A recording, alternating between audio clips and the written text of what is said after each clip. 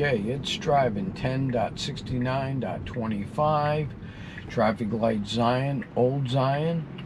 It has not attempted today at all to turn left on red at this intersection when it's number one, and yet it has always, on rare occasions, does it not. But this is a big improvement. I don't know what that was all about, that little